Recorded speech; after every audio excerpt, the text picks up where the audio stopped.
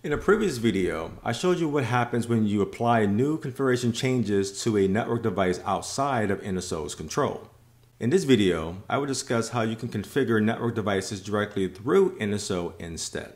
And we'll start with core switch number one. And let's say that we want to configure all of the main interfaces based on the details listed in the network diagram. Now, our core switch has a lot of different interfaces, so we're going to be doing this actually in different parts but it's a good place to start. Okay, so first off, we need to confirm that all devices are in sync. That is a good place to start. So make sure that you're logged on to the CLI of the NSO console.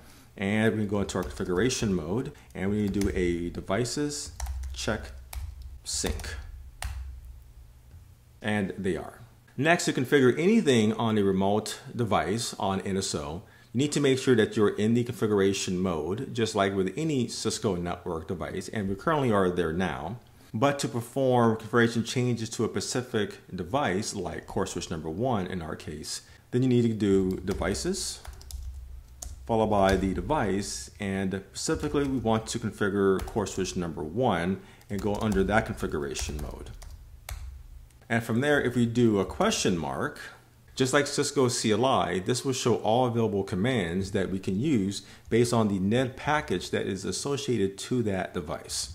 So let's configure the loopback interface that is going to be configured on that core switch. And you do that by doing any other configuration on a Cisco device. So this would be doing interface, loopback zero, and the IP address we want to configure on that interface for that device is reflected right here as 10001 a slash 32.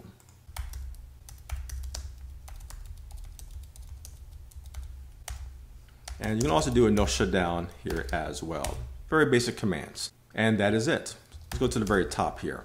Now those changes are only applied to the local configuration database for Core Switch 1 and not applied directly to that device.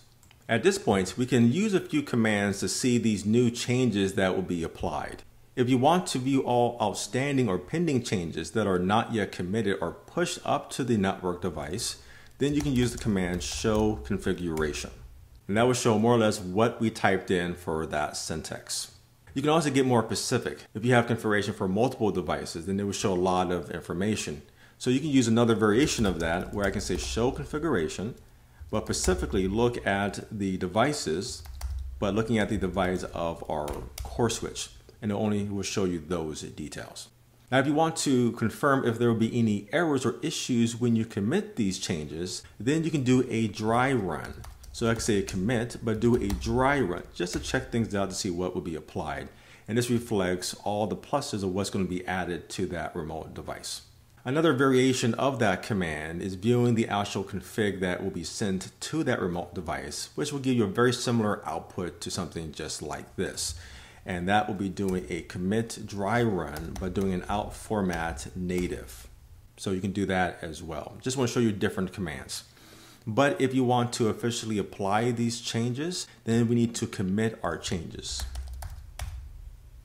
And with that change committed, if you are within the configuration mode right now on NSO, we can view the configuration for CS01 now. So there's many ways how we can do this. We can say something like, let's look at the full config for the device of CS01. And that's gonna show everything for that configuration everything has been synced to that particular device. So that will show all the details that we added earlier about the details of how to connect to that device so that doesn't change. But it will show all details of what has been synchronized from that device of however it is configured.